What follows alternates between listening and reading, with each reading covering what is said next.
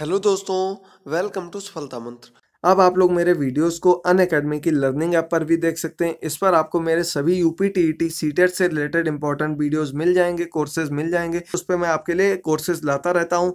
तो इसके लिए आपको मुझे फॉलो करना होगा और नीचे दिए लिंक से जाकर आप लोग मुझे फॉलो कर सकते हैं। थैंक यू दोस्तों। दोस्तों, जैसा कि कल मैंने आप सभी लोगों को बताया था, कल शाम को मैंने तीन विषय की एक साथ क्लास दी थी, जिसमें आपको विज्ञान, सामान्य ज्ञान और पर्यावरण के क्वेश्चन दिए थे। तभी मैंने आपको बताया था कि आज मैं आपके लिए हिंदी की एक क्लास लेकर आऊँगा जिसमें हिंदी के इंपॉर्टेंट क्वेश्चन होंगे, जिनके पूछे जाने की पूरी पूरी संभावना है या इसी प्रकार के क्वेश्चन आएँगे।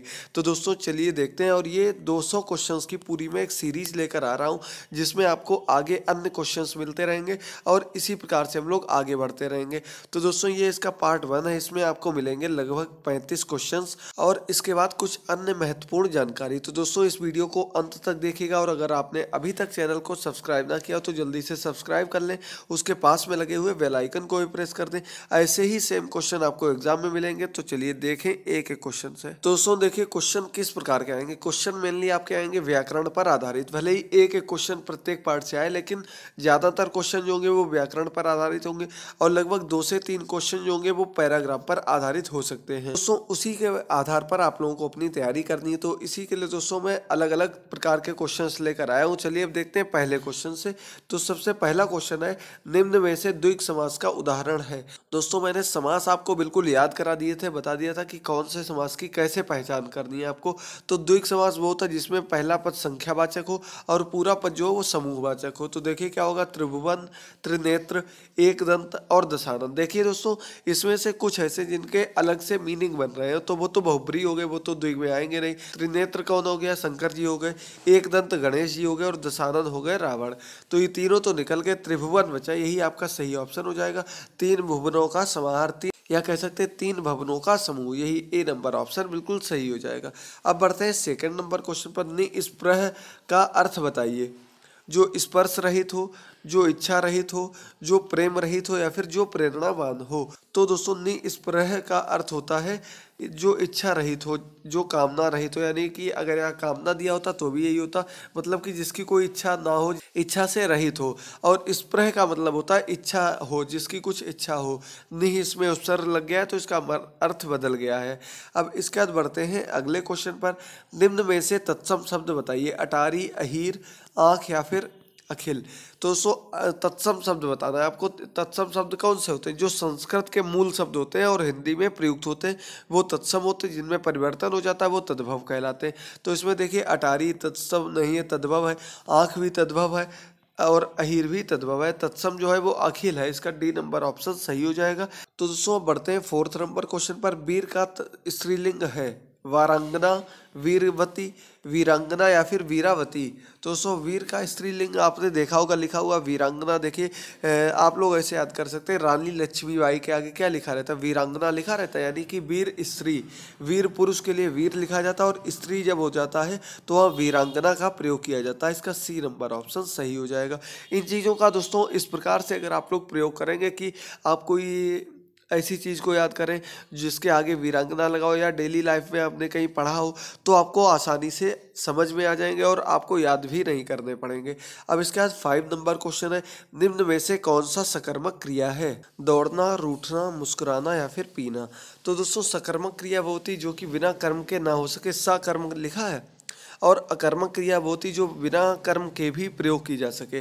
तो दौड़ना, रूठना, मुस्कुराना तो ये तो अकर्मक क्रियाएँ हो गई। इनके लिए किसी भी कर्म की ज़रूरत नहीं पड़ती है। लेकिन पीना जो क्रिया है, धातु है, ये सकर्मक होती है क्योंकि ये बिना किसी आप लोग, जब तक इसमें कर्म नहीं यूज़ करेंगे, तब तक आप लोग इसका प्रयोग नहीं कर सकते। जैसे पानी पीना, चाय पीना, जब तक कोई इसमें कर्म नहीं लगाएँगे, तब तक इसका अर्थ स्पष्ट नहीं होगा। तो इसलिए ये सकर्मक क्रिया होगी। आप लोग ऐसे ही उदाहरण का प्रयोग करके आसानी से समझ सकते हैं। कौन सी अकर्मक है, कौन सी सकर्मक है? अब इसके बाद सिक्स नंबर क्वेश्चन है। कार्य करने के बाद उसके बारे में जाँच करना। अर्थ वाली कहावत है। तो अर्थ वाली कहावत कौन सी है ये? सांप निकलने पर लकीर पीटते रहना, पानी पीकर जाति पूछना B number C number option है। अब पछताए होत का जब चिड़िया चुग गई खेत अगला है उपर्युक्त सभी। तो दोस्तों, इसमें बताना है आपको कार्य करने के बाद उसके बारे में जांचना। जाँच करना ये कौन सी कहावत है? तो देखिए दोस्तों, बी नंबर ऑप्शन है पानी पीकर जाते पूछना। ये इसी कहावत का अर्थ होगा, इसका बी नंबर ऑप्शन बिल्कुल सही हो जाएगा। अब बढ़ते हैं अगले क्वेश्चन पर, सेवन नंबर क्वेश्चन पर। मुद्री का तत्सम रूप क्या दोस्तों? तत्सम रूप के ऊपर मैंने अलग से एक पूरी वीडियो बनाई थी। उसमें मैंने आपको मुद्री शब्द पढ़ाया था और एक प्रैक्टिस सेट में भी मैं आपको मुद्री शब्द करा चुका हूँ। तो इसका अर्थ होता है मुद्रिका सी नंबर ऑप्शन सही हो जाएगा। बाकी तीनों जो लिखे हैं, वो गलत लिखे हैं। सी नंबर ऑप्शन सही हो जाएगा, मुद्रिका होता है। अब अगला एर्थ नंबर क्वेश्चन है, पाँव उखड़ना मुहावरे का अर्थ है। गिर जाना, फिसल जाना, अपमानित होना या फिर हार जाना। तो दोस्तों, पाँव पाँव उखड़ जाने का अर्थ क्या होगा? आप लोग इसका भी वाक्य में प्रयोग करेंगे तो आपको पता लग जाएगा कि अकबर के लड़ाई के मैदान में पाँव उखड़ गए यानी कि वो हार गया। डी नंबर ऑप्शन सही हो जाएगा, बिल्कुल। अब इसका नाइन नंबर क्वेश्चन है, आँख एक नहीं है और कजरौटा दस दस लोकोक्ति का क्या अर्थ है? व्यर्थ आडंबर, आँख में काजल लगाना, आँख की देखभाल करना या फिर लाइलाज बीमारी। इसका अर्थ हो गया कि आँख एक नहीं, यानी कि व्यर्थ कर रहे हैं और आडंबर, व्यर्थ के आडंबर कर रहे हैं। इसका ए नंबर ऑप्शन सही हो जाएगा, व्यर्थ आडंबर। इसके बाद टेन नंबर क्वेश्चन है, जो इंद्रियों से परे हो, अगणित जितेंद्रीय, अगोचर या फिर इंद्रियानुभूति। तो दोस्तों, जो इंद्रियों से परे हो, यानी कि जो इंद्रियों से प्रेरित ना हो, जो इंद्रियों का जिसे ज्ञान ना हो, जो इंद्रियों से जाना ना जा सके तो इसे कहते हैं अगोचर। इसका सी नंबर ऑप्शन सही हो जाएगा। जितेंद्रीय पूछा गया था आप लोगों से। जितेंद्रीय का मतलब होता है कि जो इंद्रिय, जिसने इंद्रियों को जीत लिया हो, उसे जितेंद्रीय कहा जाता है। अगणित जिसे गिना ना जा सके, वो अगणित होता है। और इसका कोई वाक्य एक शब्द नहीं बनता है। मतलब इसका कोई भी वाक्यांश नहीं होता है। अब इसके बाद इलेवन नंबर क्वेश्चन है। चौमासा में कौन सा निम्नलिखित में से कौन सा समास है? द्विक समास द्वंद्व समास, कर्मधाराय समास या फिर तत्पुरुष समास? तो दोस्तों, चौमासा सीधे पता चल रहा है कि चार मास, चार मासों का जो संग्रह होता है, उसे चौमासा कहा जाता है। यानी कि इसमें द्विक समास हो जाएगा, ए नंबर ऑप्शन सही हो जाएगा। अब आगे बढ़ते हैं ट्वेल्व नंबर क्वेश्चन पर। परमार्थ शब्द में कौन सी संधि होगी? स्वर संधि, व्यंजन संधि, विसर्ग संधि या फिर स्वर एवं विसर्ग दोनों संधि। तो दोस्तों, परमार्थ शब्द जो है, इसमें स्वर संधि होती है। डायरेक्ट आपसे स्वर संधि पूछी गई, अगर इसके अंतर्गत पूछा जाता तो वो अलग ऑप्शन होता। और परमार्थ का जो हम लोग संधि विच्छेद करते हैं तो होता है परम प्लस अर्थ। ये इसका संधि विच्छेद होता है और स्वर संधि इसमें याद रखिए आप लोग ए नंबर ऑप्शन सही हो जाएगा। इसके बाद थर्टीन नंबर क्वेश्चन है। दिए गए प्रश्न में त्रुटि रहित वाक्य का चयन कीजिए। मैं पूरी रात में जागता रहा, मैं सारी रात जागता रहा, मैंने मैं सारी रात भर जागता रहा, मैं पूरी रात भर जागता रहा। तो देखिए दोस्तों पूरी रात और सारी रात लगा तो भर लगाने की ज़रूरत नहीं है। या तो केवल लिखा होता कि मैं रात भर जागता रहा, या लिखा है, मैं सारी रात जागता रहा। तो बी नंबर ऑप्शन सही हो जाएगा, बिल्कुल इसी प्रकार से लिखा जाता है। अब इसके बाद अगला फोर्टीन नंबर क्वेश्चन है, अनाधिकृत शब्द का संधि विग्रह निम्न में से क्या होगा? तो क्या होगा? अन प्लस अधिकृत, अन प्लस अधिकृत, अन्य प्लस अधिकृत, या फिर अनाधि प्लस कृत। तो दोस्तों, अन प्लस अधिकृत होता है, इसका आपका बी नंबर ऑप्शन सही हो जाएगा, अन प्लस अधिकृत। अब बढ़ते हैं फिफ्टीन नंबर क्वेश्चन पर गणेश में कौन सी संधि होगी? गुण संधि विसर्ग संधि या फिर वृद्धि संधि या फिर दीर्घ संधि। तो दोस्तों गणेश का संधि विच्छेद पहले देख लीजिए, क्या होगा? गढ़ प्लस ईस इस प्रकार से होता है। तो गढ़ प्लस ईस यानी कि इधर आ प्लस ई मिलकर ए बन गया है। तो दोस्तों, ये गुण संधि का उदाहरण होता है। इसका ए नंबर ऑप्शन बिल्कुल सही हो जाएगा और ये भी स्वर संधि के अंतर्गत आता है। कभी कभी जब क्वेश्चन ईजी पूछा जाता तो केवल आपसे स्वर व्यंजन या विसर्ग इसमें से संधि पूछी जाती है या जब टफ आता है तो स्वर संधि के चारों प्रकार दे दी जाएँगे, उसमें आपको पहचानना होता है। अब ये सिक्सटीन नंबर क्वेश्चन है। चंदायन के रचयिता कौन माने जाते हैं? मुल्ला दाऊद, कुतुबुन, जायसी या फिर बिहारी? तो दोस्तों, चंदायन के रचयिता जो है वो मुल्ला दाऊद है। इसका ए नंबर ऑप्शन सही हो जाएगा। ये भी मैं आपके लिए अलग से एक पूरी आपके लिए सीरीज़ लेकर आया था। सात पार्ट है उसमें। वो पूरी प्लेलिस्ट अलग से बनी हुई है हिंदी साहित्य का इतिहास नाम से। अगर आपने ना देखी हो तो उसे आप लोग अलग से देख सकते हैं। जब कोई एक शब्द प्रयुक्त हो किंतु प्रसंग भेद से उसके एक से अधिक अर्थ हों तो वहाँ निम्न में से कौन सा अलंकार होगा? तो दोस्तों, जब एक शब्द प्रयुक्त हो और अर्थ अलग अलग हों या कई बार आए हों तो वहाँ पर कौन सा अलंकार होता है? यमक, श्लेष, मानवीकरण या फिर भ्रांतिमान?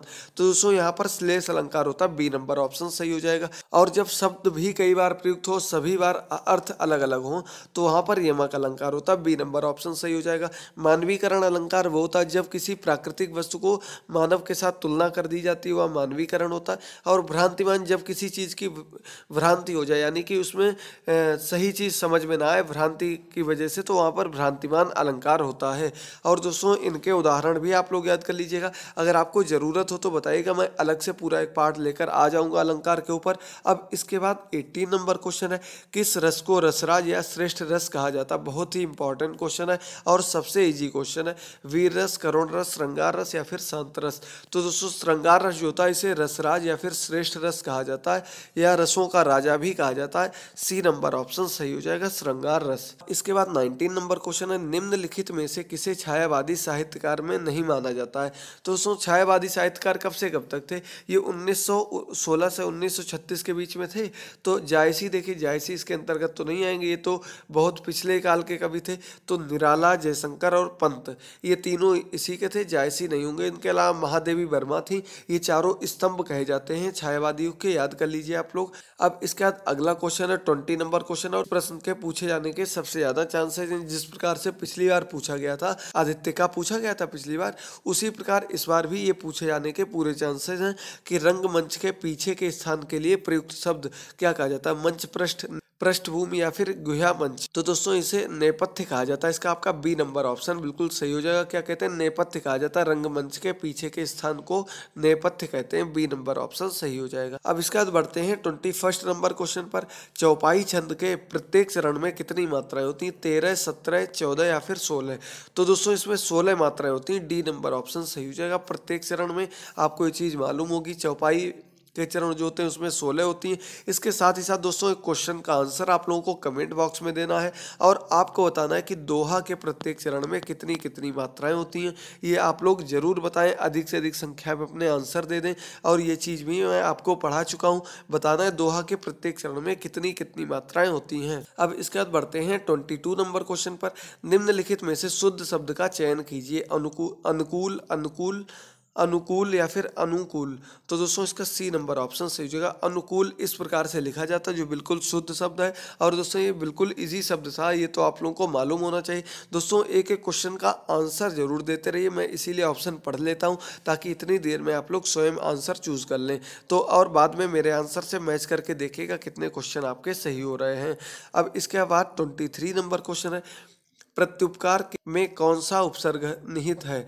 प्रति उपरा या फिर उप। तो दोस्तों देखिए, इसे किस प्रकार से लिखते हैं? प्रति प्लस उपकार इस प्रकार से लिखा जाता है और ये प्रत्युपकार बन जाता है। तो दोस्तों, इसमें प्रति उपसर्ग है, इसका आपका ए नंबर ऑप्शन सही हो जाएगा। अब इसके बाद ट्वेंटी फोर नंबर क्वेश्चन है, छत से ईंट गिरी वाक्य में कौन सा कारक है? अधिकरण कारक, संबंध कारक, संप्रदान कारक या फिर अपादान कारक? तो देखिए दोस्तों, जब कोई चीज़ कहीं से अलग होती है, छत से ईंट गिर रही है, यानी कि छत से अलग हो रही है तो अलग होने में हमेशा अपादान कारक होता है। डी नंबर नंबर ऑप्शन सही हो जाएगा। कोई भी चीज़, किसी भी चीज़ से अलग हो रही है, हमेशा अपादान कारक लगेगा। याद कर लीजिए आप लोग, चाहे वो डायरेक्टली अलग हो रही हो या इनडायरेक्टली अब इसके बाद ट्वेंटी फाइव नंबर क्वेश्चन है, रमणीय में कौन सा प्रत्यय है? ई अड़ी रम या फिर अनीय? तो दोस्तों, इसमें देखिए, रम प्लस अनीय इस प्रकार से होता है, जिसमें कि रम जो है, ये शब्द है और अनीय प्रत्यय लगा हुआ है, यानी कि इसका डी नंबर ऑप्शन सही हो जाएगा। रम प्लस अनीय तो ये रमणीय बन जाता है। इसी प्रकार से होता है माननीय, वो भी इसी का उदाहरण है। तो दोस्तों बढ़ते हैं ट्वेंटी सिक्स नंबर क्वेश्चन पर। सुरेश ने मोहन के साथ मित्रता का निर्वाह किया। इसमें भाववाचक संज्ञा क्या है? सुरेश निर्वाह मित्रता या फिर मोहन के साथ मित्रता। तो दोस्तों, इसमें भाववाचक संज्ञा पूछी गई है और भाववाचक संज्ञा का अर्थ होता है जो किसी चीज़ का भाव प्रकट करे। तो भाव कहाँ से प्रकट हो रहा है? मित्रता से प्रकट हो रहा है। तो तो ये भाववाचक संज्ञा होगी। सी नंबर ऑप्शन सही हो जाएगा। किसी भी चीज़ से कोई भाव जब प्रकट हो तो वो भाववाचक संज्ञा के अंतर्गत आती है। जैसे बुढ़ापा हो गया, बचपन हो गया सब इसी के उदाहरण है। इसके बाद ट्वेंटी सेवन नंबर क्वेश्चन है। एक बार कही बात को दोहराते रहना वाक्य के लिए शब्द है। आगार, प्रकरण, पिष्टपेषण या फिर प्रस्तावना। दोस्तों, ये भी वाक्यांश पूछा जा सकता, थोड़ा टफ है। याद कर लीजिए इसे पिष्ट पेषण कहा जाता है। इसका आपका सी नंबर ऑप्शन सही हो जाएगा। एक बार को कही गई बात को बार बार दोहराया जाता है तो इसे पिष्ट पेषण कहा जाता है। इसका ट्वेंटी एट नंबर क्वेश्चन है। सच्चिदानंद हीरानंद बादशाहन का उपनाम क्या है? हरियोद अज्ञे गुलेरी या फिर निराला? तो दोस्तों, ये इनका उपनाम है। अज्ञे इसका बी नंबर ऑप्शन सही हो जाएगा। इन्होंने तार सप्तक की स्थापना की थी। इसके बाद ट्वेंटी नाइन नंबर क्वेश्चन है, सरस्वती पत्रिका के संपादक निम्न में से कौन है? महावीर प्रसाद द्विवेदी, बालकृष्ण भट्ट, जग, जगदीश गुप्त या फिर मुंशी प्रेमचंद्र? तो दोस्तों, ये महावीर प्रसाद द्विवेदी है, इसका आपका ए नंबर ऑप्शन बिल्कुल सही हो जाएगा। पढ़ते हैं थर्टी नंबर क्वेश्चन पर। शुद्ध वर्तनी वाला शब्द है, श्रृंगार श्रृंगार श्रृंगार या फिर श्रृंगार। तो दोस्तों, किस प्रकार से श्रृंगार लिखा जाएगा? देखिए, इसका बी नंबर ऑप्शन सही हो जाएगा। श्रृंगार जो होता है, इस प्रकार से लिखा जाता है। इसमें देखिए, ये जो होता है, ये आधा सरा के रूप में प्रयुक्त होता है। तो इसका बी नंबर ऑप्शन सही हो जाएगा। श्रृंगार जो होता है, ये इस प्रकार से लिखा जाएगा। बी नंबर ऑप्शन सही हो जाएगा। दोस्तों, अब बढ़ते हैं आगे। ये कुछ आपको विभिन्न अर्थ वाले शब्द हैं और इनका अर्थ आपको बताना है क्या होगा। तो देख लेते हैं, पाँच ये और बचे हुए हैं। तो आज के इस पार्ट में थर्टी क्वेश्चन आपके कंप्लीट हो जाएँगे। इसका नेक्स्ट पार्ट में हम लोग इसके आगे के क्वेश्चंस लेकर आएँगे और ये 200 क्वेश्चंस की सीरीज़ लगभग पाँच पार्ट में कंप्लीट हो जाएगी। तो इन क्वेश्चंस को ज़रूर देखते रहिए, अधिक से अधिक शेयर ज़रूर करते रहिए और अगर कोई डाउट हो तो आप लोग कमेंट बॉक्स में कमेंट करके पूछ सकते हैं। दोस्तों, इसके अलावा मैंने अलग अलग प्ले बना दी हैं और शिक्षक भर्ती परीक्षा दो हज़ार उन्नीस की भी एक अलग से प्ले बनी हुई है। वहाँ से आप लोग सभी वीडियोज़ को देख सकते हैं। अब थर्टी फ़र्स्ट नंबर क्वेश्चन है ऐसा शब्द का निम्न में से अर्थ बताइए। तो क्या अर्थ होगा, इसका घृणा, अनिच्छा, अभिलाषा या फिर सीमित। तो दोस्तों ऐसा शब्द का अर्थ होता है अभिलाषा। सी नंबर ऑप्शन सही हो जाएगा ऐसा का अर्थ क्या होता है? अभिलाषा होता है। दोस्तों, इन्हीं क्वेश्चंस में से क्वेश्चन आ सकता है और आगे अन्य जो क्वेश्चंस होंगे, वो मैं आपको पूरी एक सीट तैयार करके दे दूँगा। उसमें लगभग आपको पचास साठ इसी प्रकार के क्वेश्चन मिल जाएँगे। इसके बाद अगला है भौरा कोयल सखी किस शब्द के अनेकार्थी शब्द हैं? अली अंत, अनंता या फिर आकार। तो दोस्तों, ये अली के शब्द हैं। अली के जो अर्थ होता है, अली में भौरा, कोयल, सखी, ये सभी इसी के अर्थ में आता है। ए नंबर ऑप्शन सही हो जाएगा। उसके बाद अगला क्वेश्चन है, निम्नलिखित में से अमृत शब्द का समानार्थी शब्द कौन सा है? वज्र, बाण, तुरीण या फिर पीयूष? तो दोस्तों, अमृत का देखिए, समानार्थी शब्द पीयूष होता सीधी सी बात है, आप लोगों को मालूम होगा, डी नंबर ऑप्शन सही हो जाएगा। अब इसके बाद बढ़ते हैं अगले क्वेश्चन पर। दिए गए शब्दों में से किस एक अर्थ ब्रह्मा से होता है, यानी कि ब्रह्मा का अर्थ बताना क्या होगा? अक्षर, अंगार, अनंता या फिर आकार। तो दोस्तों, अक्षर जो होता है, ये ब्रह्मा जी का पर्यायवाची शब्द के अंतर्गत आता है। इसका ए नंबर ऑप्शन सही हो जाएगा। और सबसे अंत में आता है आपका नौका का, आपको अर्थ बताना है। नौका का इनमें से कौन सा अर्थ होगा? तरणी, तरुण तरुणी या फिर तरण। तो दोस्तों तरणी जो होता है, ये नौका का अर्थ होता है, इसका आपका ए नंबर ऑप्शन बिल्कुल सही हो जाएगा। एक एक क्वेश्चन को याद करते रहिए और अच्छे से देखते रहिए। तो दोस्तों, आज के इस पार्ट में थर्टी फाइव क्वेश्चन कंप्लीट हो गए बताइएगा कितने क्वेश्चन आपके सही हुए हैं। और दोस्तों, जो पीडीएफ फ़ाइल है, अगर आपको चाहिए हो तो उसके लिए आपको फ़ीस का पेमेंट करना पड़ेगा। Eight double zero four five six two eight double two ये मेरा व्हाट्सएप नंबर है। इस पर संपर्क करके आप लोग उस पीडीएफ फ़ाइल को प्राप्त कर सकते हैं। तो दोस्तों, आज के इस पार्ट में इतने ही क्वेश्चन वीडियो अगर पसंद आए तो इसे लाइक कर दें, अपने सभी दोस्तों के साथ शेयर कर दें। जो क्वेश्चन पूछा उसका आंसर कमेंट बॉक्स में दे देना। ना भूलें। थैंक यू दोस्तों।